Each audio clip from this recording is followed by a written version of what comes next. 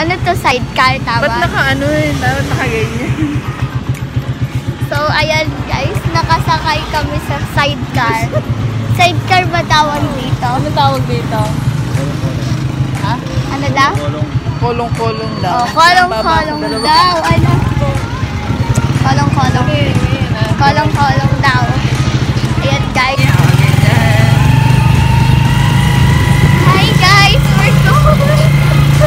somewhere! At si Tito, si Tito ang nagdadaray. At kami ay nakasakay.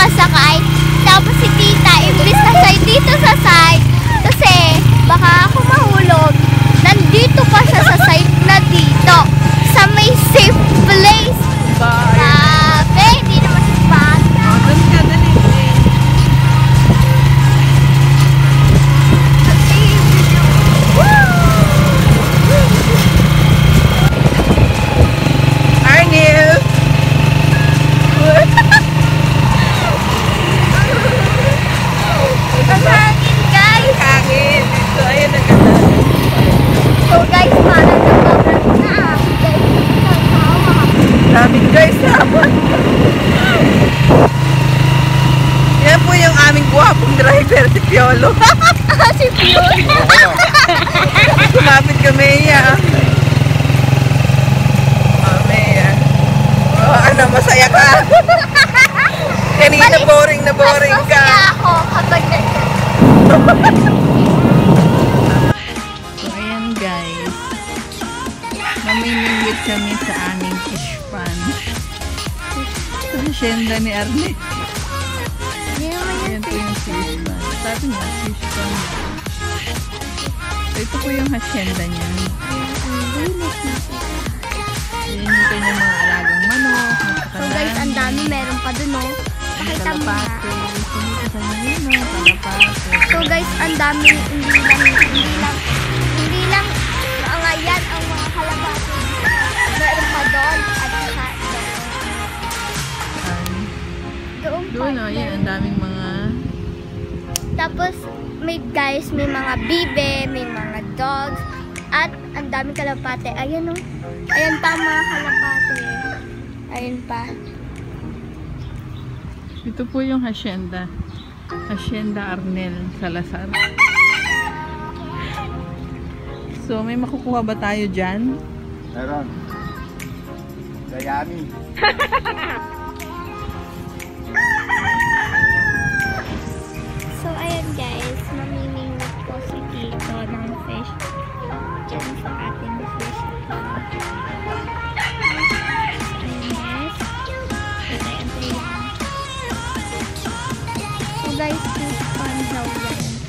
Yun, galing. May nakuha siya. Galing. Congratulations. Wala, may fish ang liit mo. So, ayan guys, tinutuluan po ni Tito na mamang kaso hindi maalam. Andyan yung fish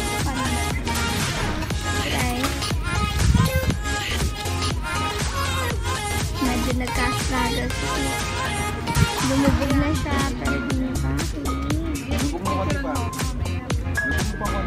Ayan guys, si Mea, nakakuha siya ng...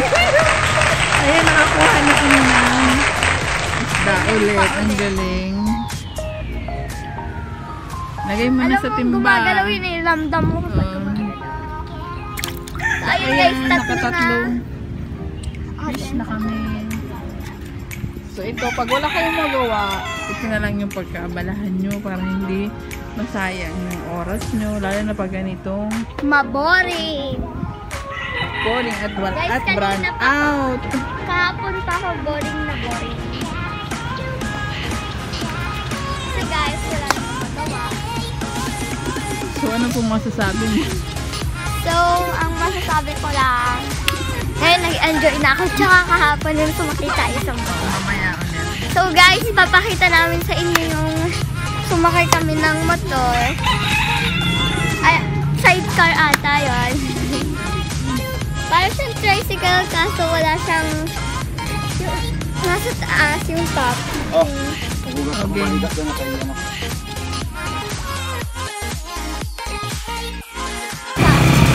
So ayun guys, pupunta kami sa Ukay-Ukay. Naman kami dito sa aming kotse, Sidecar. sidecar. So, ayan, nasa highway na po kami. Kahapon. Dito kami nagala kahapon. So guys, tawag yan Dallas City. So, ayan. Kasi Dallas. naman, wala kaming magawa. At saka wala na rin kaming masuot. Kaya titingin na lang kami sa Ukay-Ukay. ang ibig. Ako din, sure. So, see you later. Pag nandun na kami guys, see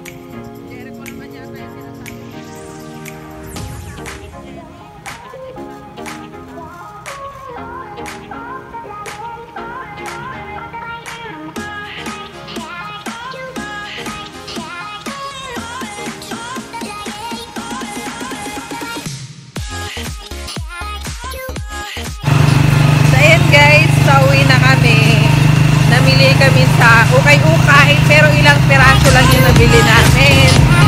Kasi ang mahal ng ukay-ukay dito sa Pampanga. Ewan ko kung bakit. Pero sa Batangas, di ba, Mea, ang mura ng ng ukay-ukay doon. Dito, grabe, ang mahal ha. Mahal yung ukay-ukay dito. Bakit mahal po yung ukay-ukay dito? Kasi buo yung garter. yung sa Batangas, wala nang garter kaya mura. Hindi, grabe. So guys, bumili po ako ng ice cream Oda. 38 pesos. Yung short na pambahay, 80 pesos na yun. Sa Tanawan, mayroon 30, 30 pesos. Nakakabili na ng ganun. May Oo. maong 30 pesos, 50 pesos. Pero Walang dito, yun guys. grabe, ang mahal na. Ginto May yung, yun. kaya nga okay-okay, pero ang mahal-mahal. Oh my God. Anyway, pauwi na po kami. So, ayan, nasa biyahe na kami. Biyahe ba? Oo, biyahe na tayo. Hi guys! So, third day na namin ngayon dito sa Pampanga. So, nag-swimming kami. Ayan, nakaligo na ako. Nag-shower na ako kasi hindi naman ako marunong mag-swimming. Pero si Maya nag-swimming pa rin. So, ngayon, nag-shower na ako. Mag-i-skincare muna ako.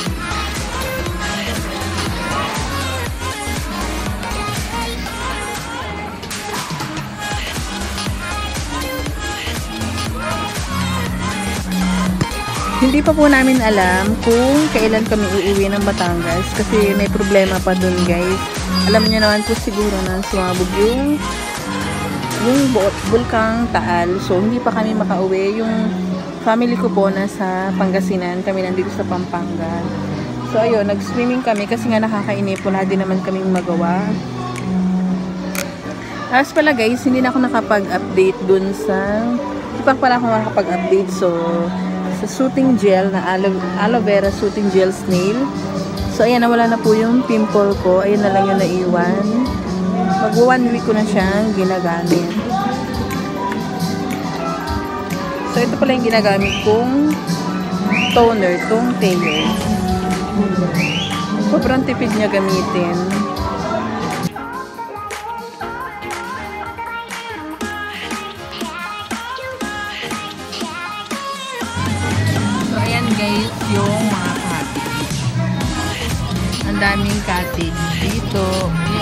Aswan.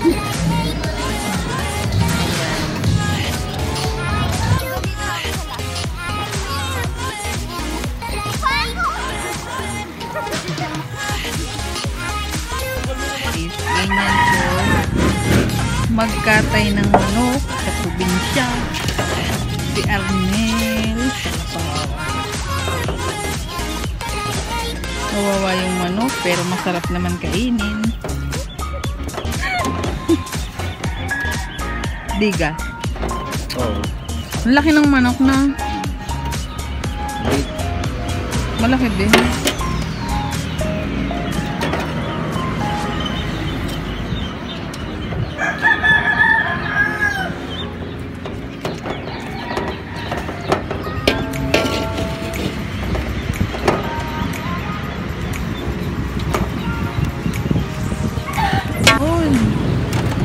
Naman. Isang hilahan lang.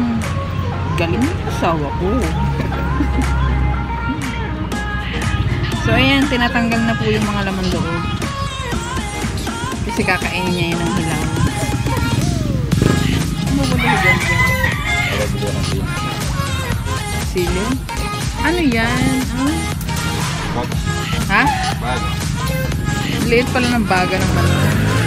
Sa kabila pa lang. So, ganito po guys. Ang dami nilang alagang manok. Tapos, pag wala pong may ulam, yun na lang po yung ulamin. Siyempre, ganun talaga sa probinsya. Alagaan mo, tapos kakainin mo rin. Kaya yung manok guys, nagtatampo na. Bakit po nagtatampo yung manok? Ayaw nang lumaki kasi pag laki kinakain. O, Ayan o, sa likod ni Arnel, meron pong manok. So, ilalapit po natin yan.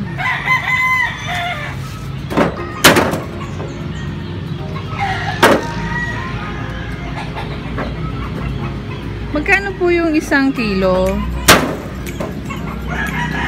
Manok, Apo. hindi ko alam yung pamagkas mo. Hindi po, yan po. Magkano po ang benta nyo? Uy, Arnel, magkano pong benta nyo? Alam. Wala ka pong idea kung magkano. Hmm, Taga-kaya pa lang. Kaya mo alam kung hindi ako magkakayat ko na. So, ganun po. Ayan, ang dami pong nag-aabot na aso sa tabi niyan. Baka daw po maambunan nila. So, ayan, kailangan yung tanggalin yung mga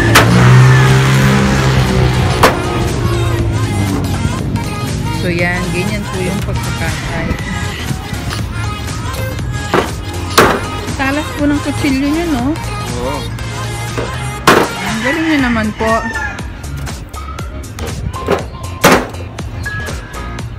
Hindi ko ipopokus sa manok sa mukha nyo ipopokus.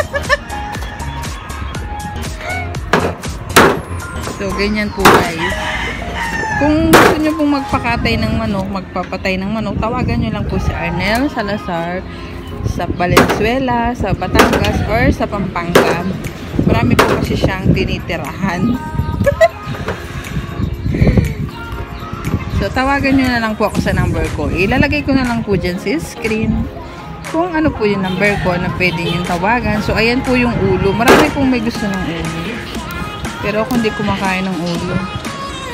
Iba pong ulong kinakain ng aso. Bang! La, yung mata, tanggalin mo.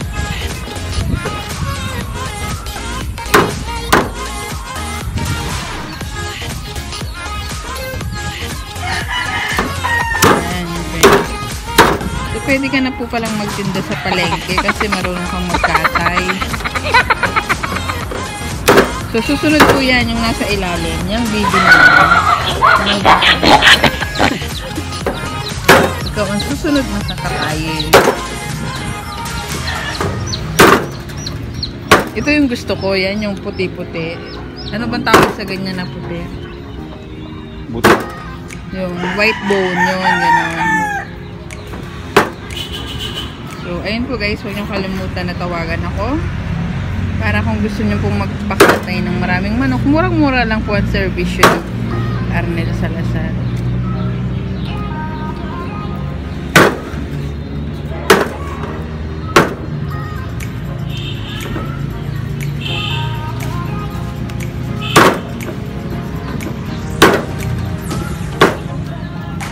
Dami din, no? Yan na po, isang kaserolang malaki. Nasa ka dalawang kilo siguro.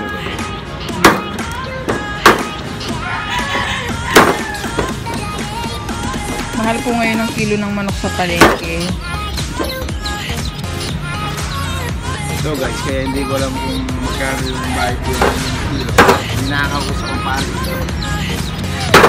Ah, ganun po pala yun. Kaya po pala kayong idea. Po pala yan sa kapitbahay.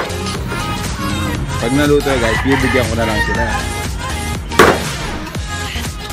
Ganun. Sa'yo naman na Ricardo. Ano? So, ayan po guys. Marami pa pong nakasunod. Yung mga bibi na yan sa susunod na mga araw, humanda sila. Ayan o, ang dami nila.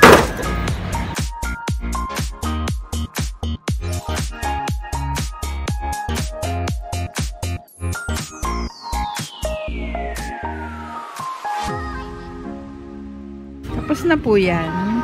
Yan. Ano po sunod na gagawin? Yung laman loob. So, ganito daw po yung paglilinis ng lamang loob. Una, Ayun yung tae. tatanggalin natin yung hotdo. Kasi pagka humalo sa atay yan, mapait.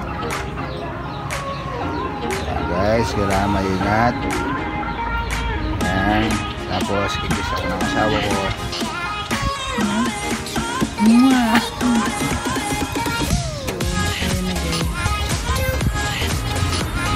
Huwag mo pong takpan. Sa lagi ba naman ang braso kung to, hindi ba matatakpan yan? So, ayun yung atay. Ano yung naman ng atay? Ang sarap ng atay ng Ano yan? Ito yung balon-balunan. Ito po yung upok Para matanggal yung ilaw sa loob. Tamad kasi. Ba't binigay mo yung bituho? So, ayan. Ba't na hinihiwa? Ano ba yan? Ay, yung balon-balunan. Hmm.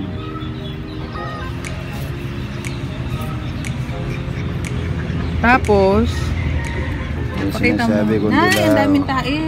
Buhangin yan, ano tayo? Hmm, nasa ng tae nila. Nasa puwet. Buhangin yan.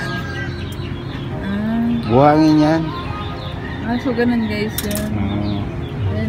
Ayan o. Ito yung dilaw. O, Pagka hindi yung pinukpok yung balon-balunan, mahirap itong tanggalin. Ah, O, yan, o. Tignan mo, kadali lang. O, di ba? O. ang dali. Mo yung gripo, guys. Mamaya papakita ko muna yung Yan, tapos Pupurin niyo yung kutsilyo yung ganito para matanggal yung Taksan mo po yung boses mo para madinig.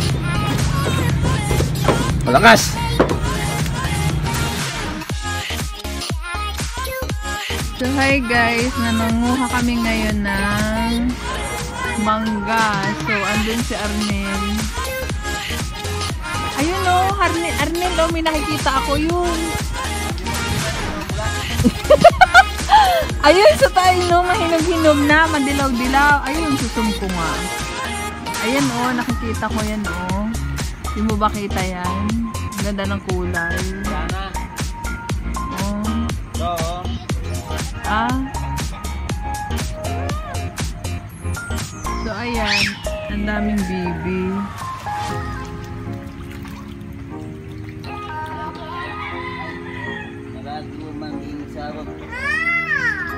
Ayun guys, nangunguha kami ng mangga dito sa likod bahay. So, andito pa rin kami ngayon. Ay. Andito pa rin kami sa Pampanga. Hindi pa kami umuwi. Um, pang 7 days na namin to. So, ayan, ang daming bibi.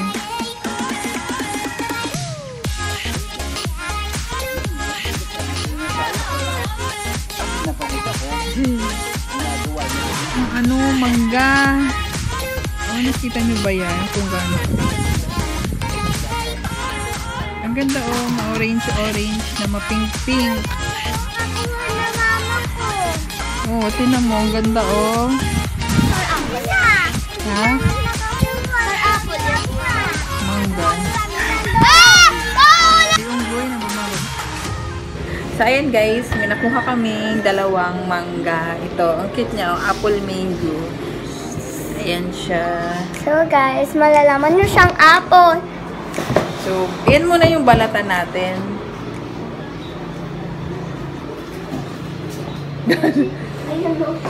So, ayan guys, yung itsura niya, hinog. So yan guys, malalaman yung apple mango. May pagkakulay siya ng apple slash mango. At yung isa namin nakuha ay mango. Apple mango din siya kaso. Apple mango ba to? Kaya lang ito, hinog na siya. Kaso, mas masarap to kasi inog na. Natikman mo na. Said it. So, eto guys, yung isa, malaki din siya.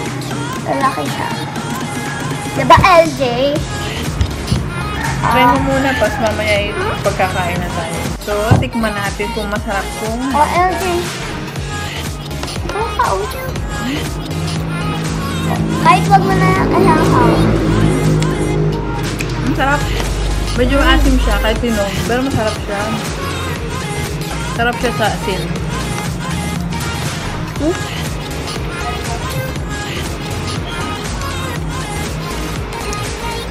So guys, natry ko na ko. Ay, nalaglag. Bumili kami. Hindi siya kita. Sabi mo, LJ, ganyan ka. Ayan siya, oh. Ayan yung kay LJ.